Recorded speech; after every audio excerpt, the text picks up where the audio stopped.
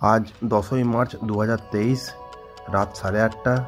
আমি এবং আমার আড়াই বছরের মেয়ে পেখম দুজনে মিলে আমার তৃতীয়বারের ট্রেকিংয়ের জন্য প্যাকিং শুরু করলাম।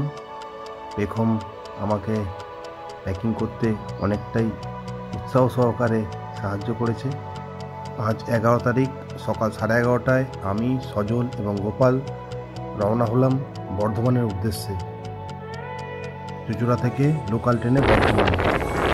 পথে আমাদের জব করতে এসেছিল। আমাদের দাদা আছে। সৌভিকদা। সৌভিকদার খুব ইচ্ছে ছিল যাওয়ার কিন্তু সম্ভব হয়নি। বিভিন্ন হয়ে কারণেতে আমাদেরকে খুব উৎসাহ দিয়ে রওনা করল। বেলা তখন দেড়টা হবে। আমরা পৌঁছে গেছি বর্ধমান। ওদিকে কলকাতা স্টেশন থেকেও বাকি তিনজন উঠে গেছে। তো বর্ধমানে আমরা অল্প কিছু লাঞ্চ করলাম এবং তারপরে অপেক্ষা শুরু। অপেক্ষা অপেক্ষা, শুধুই অপেক্ষা। চার ঘণ্টার অপেক্ষা। আমাদের জার্নি শুরু হয়ে গেছে।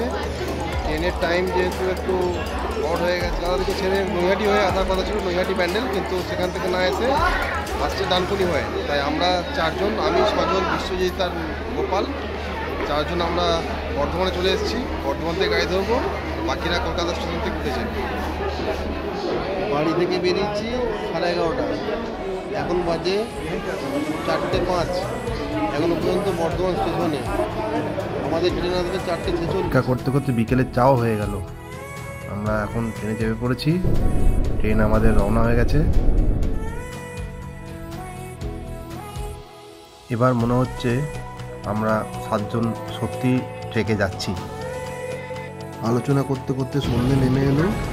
তো আমরা সাড়ে আটটা নাগাদ রাতের ডিনার সেরে ফেললাম এবং আমাদের ফেরার ট্রেনটাও আমরা সেখানেই দেখতে পেয়ে গেলাম। Good night. এখন বাজে ছটা গাইডের সঙ্গে কথা হলো গাইড বলল আজকে পোকা আসছে। আমরা এখন গোরখপুর যাব। গোরখপুর থেকে নৌতলবা ট্রেন আজকে নেই।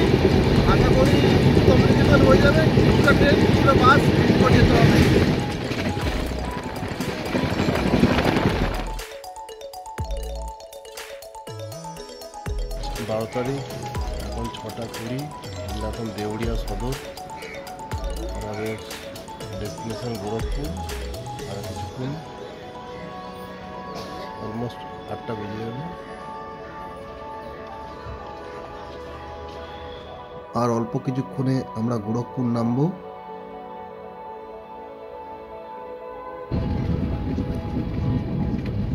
আমরা জানতে পারলাম আজ নতুন নতুনবার ট্রেন নেই। তো আমরা গোরখপুর থেকে বাসে করেই সোনৌলি যাব, সেটাই সিদ্ধান্ত নিলাম। তো দেড়শো টাকা পার হেড বাসে চাপলাম। বাস এবং রাস্তা দুটোই ভালো ছিল। গোরখপুর থেকে পঁচানব্বই কিলোমিটার দূরে সোনৌলি বর্ডার তো বাসের মধ্যেই আমরা অল্প কিছু ব্রেকফাস্ট করে নিলাম এবং সেখানকার বাজারঘাট এবং লোকালয়ের আমরা সোনৌলির দিকে গেলাম সনৌলি বর্ডারে আমাদের বাস নামিয়ে দিল এবং সেখানে আমরা কিছুক্ষণ পরে লাঞ্চ করে নিলাম। আমরা সোনালি বর্ডারের দিকে যাচ্ছি। ট্রেনে করে আসার কথা ছিল, পাইনি বাসে এসেছি। বাস থেকে নেমে সোনালি বর্ডার আজ বারো তারিখ ট্রেন নিয়ে দ্বিতীয়বারের মতন নেপাল বর্ডার ক্রস করছি। সোনালি হয়ে দ্বিতীয়বার বাবা, এসো এসো। ওইদিকে তো রোদ্দুর। যদিও পায়ে হেঁটে বর্ডার ক্রসিং তাও মনের মধ্যে একটা উৎকণ্ঠা সবসময় কাজ করে। নিজের দেশ ছেড়ে অন্য একটি দেশে আমরা পায়ে হেঁটে বর্ডারে আমাদের গেট চেক ব্যাগ চেক হলো। এবারে নেপাল বর্ডার ঢুকবো। নেপাল বর্ডার ক্রস করছি। অ্যাকচুয়ালি নেপাল বর্ডার সামনে আমাদের টিম আছে। ছজনের। গোপাল, কার্তিক, মার্শাল, নয়ন আর আমি।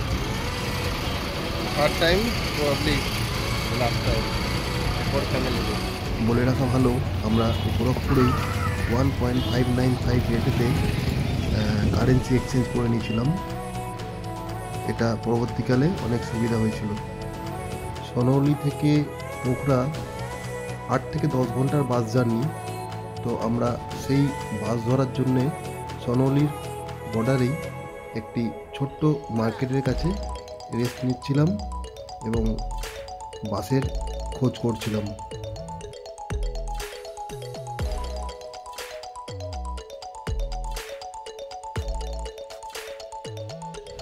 আমরা কোথায় আছি এখন? কি মার্কেটে সোনালি। মার্কেটে আছি। বাসের টিকিটের জন্য বার্গেন করছে। হ্যাঁ বাসের টিকিট এখন দেখাচ্ছে এসি বারোশো আর নন এসি আটশো আছে সাতশো আছে। সাতশোটা বলছে একটু ভঙ্গুর গাড়ি দেখা যাক কেমন কি আছে। সাড়ে আটশো বলছে। সাড়ে আটশো বলছে। দুটো গাড়িকে দেখি তারপর ডিসাইড করব যে কোনটাতে আমরা যাব। দেখো। হ্যাঁ বাসের টিকিট বাসের টিকিট সাতশো সাড়ে সাতশো সাড়ে আটশো বারোশো। এখন আমরা সাতশোর দিকে তাকিয়ে বসে আছি। ইন্ডিয়ান বলো ইন্ডিয়ান কারেন্সি এটা। এটা এনসি ইন্ডিয়ান কারেন্সিতে আমাদের বাজেট সাড়ে চারশো। হ্যাঁ আর সাড়ে সাতশো বেশি আমরা যাব না পাঁচশোতে হয়ে যাচ্ছে সাড়ে চারশো করতে চাইছি। কারণ অলরেডি আমরা সকালবেলা পঁচাত্তর টাকা পঁচাত্তর টাকা? কিটা? পঁচাত্তর টাকা আমরা বাজেটের এক্সিট করে গেছি। ট্যুরে সেটাকে মেকআপ করতে পারব বর্ডারে বাসের টিকিটের জন্য অনেক এজেন্ট আপনার সঙ্গে কথা বলবে সাবধান থাকবেন। ইনি যাচ্ছেন মুক্তিনাথ। এই আমাদের সেই বাস এবং সাধু বাবা আমাদের সফর সঙ্গী। সারা রাতের অবর্ণনীয় বাস জার্নি শেষে যখন সকাল হলো এবং সূর্য উঠতে দেখলাম, তখন দেখলাম আমরা খুব সুন্দর রাস্তা দিয়ে চলেছি। যতই পোখরার কাছে আমরা এগিয়ে চলেছি, ততই রাস্তাঘাট অনেক ভালো হয়ে গেল এবং বাসের জার্নিটাও খুব আরামদায়ক হলো। যদিও এখন পাঁচটার মধ্যে আমাদের গাড়িটিতে পৌঁছে যাওয়ার কথা ছিল, কিন্তু সেটা বেজে গেল সাড়ে সাতটা। হাজির পিস্তি চক বাস স্ট্যান্ডে এবং সেখানে দেখা পেলাম আমাদের গাইডের